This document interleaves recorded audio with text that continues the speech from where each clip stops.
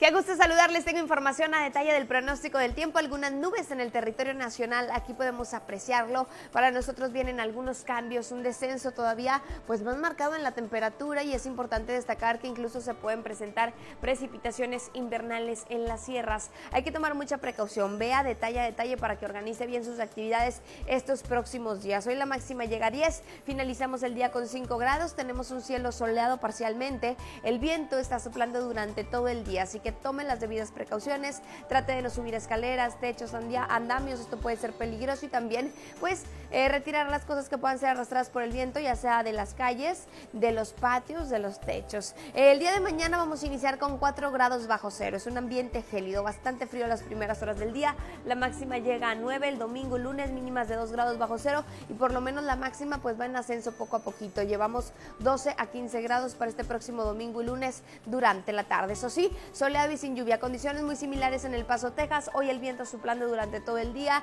Tenga cuidado, la máxima será de 60 grados Fahrenheit. Finalizamos con 42. Hay un 20% de probabilidad de lluvia en Ciudad Juárez y en El Paso, Texas durante la tarde. Realmente es un porcentaje bajo, no mucho de qué preocuparnos. Sábado, domingo y lunes mínimas de 25 a 28 y máximas de 48 grados Fahrenheit para el sábado, 52 para el domingo y 59 para la tarde del próximo lunes. En Chihuahua también viento, no se espera lluvia. La máxima alcanzará a 15 grados y finalizamos con 5. Los próximos días en Chihuahua, la mínima mañana sobre todo 3 grados bajo cero. Cuídese de estos cambios en la temperatura, la máxima llegará a 15.